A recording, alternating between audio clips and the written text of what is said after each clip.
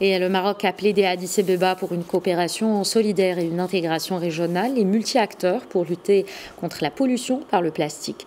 Écoutons à ce propos la ministre de la Transition énergétique et du Développement durable, Leila Benelli. Nous sommes tous dans une reprise, euh, je l'espère, fructueuse post-Covid.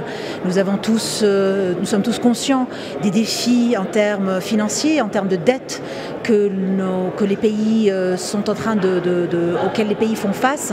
Donc c'est vraiment une conférence ministérielle très importante qui arrive et qui, je l'espère, le principal fruit des négociations et des discussions que nous avons eues tout au long de cette semaine, au niveau technique mais également au niveau politique nous permet de rassembler et de, converger les points de vue et d'avoir une position africaine commune sur plusieurs sujets qui sont très importants sur les questions environnementales, changement climatique et perte de biodiversité et pollution, notamment par exemple sur le plastique. Nous avons euh, bien entendu un traité qui est en gestation dans le cadre de l'Assemblée des Nations Unies pour l'environnement, que le Maroc euh, a, l'honneur de présider, euh, qui voudrait que nous arrivions à un traité international non contraignant sur le plastique. Et c'est vraiment une, problématique très importante sur laquelle l'Afrique, même si c'est un continent qui produit et qui consomme moins de 5% du plastique dans le monde se retrouve, euh, comme, se retrouve comme étant euh,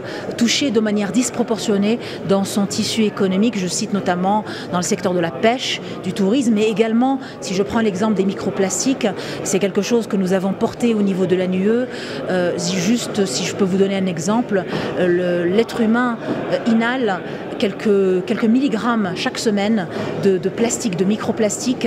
Donc ce n'est plus une question euh, qui touche euh, uniquement euh, la perte de la biodiversité, ce n'est plus une, question qui touche uniquement certains secteurs économiques comme le tourisme et la pêche. Ce sont des questions qui touchent la santé humaine, ce sont des questions qui touchent la dignité humaine.